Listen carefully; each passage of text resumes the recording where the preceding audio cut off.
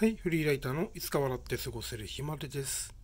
まあ、あの、どうでもいいことっちゃどうでもいいことなんですけども、これなんですよね。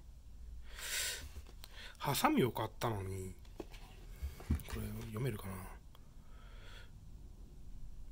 ハサミがないと、使えないっていうね。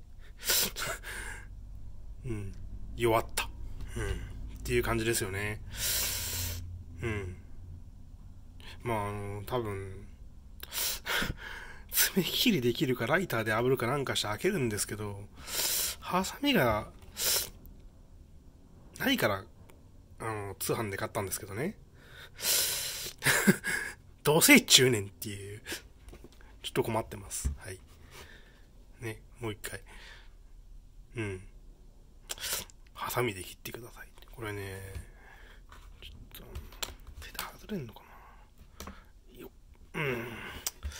ちょっと片手だっていうのもありますけど、やっぱ手じゃちょっと厳しいですね。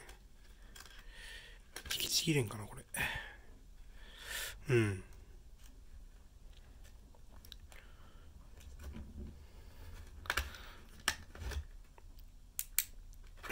やっぱ無理ですね。はい。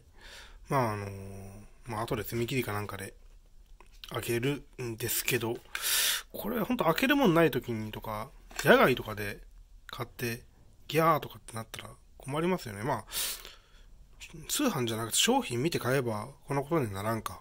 そもそもこれのついてないの買うか。うん。いや、これを買うため、あ、これを切るためにね、100均かなんかでハサミを買ってきたら本末転倒じゃないですか。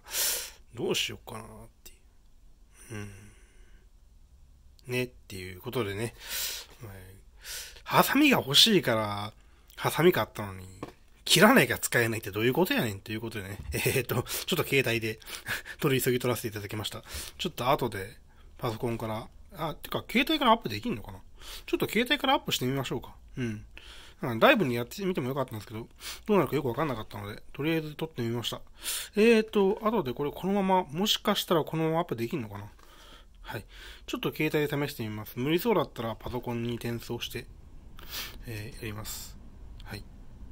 以上です。えー、よろしければね、チャンネル登録していってください。フリーライターのいつか笑って過ごせる日まででした。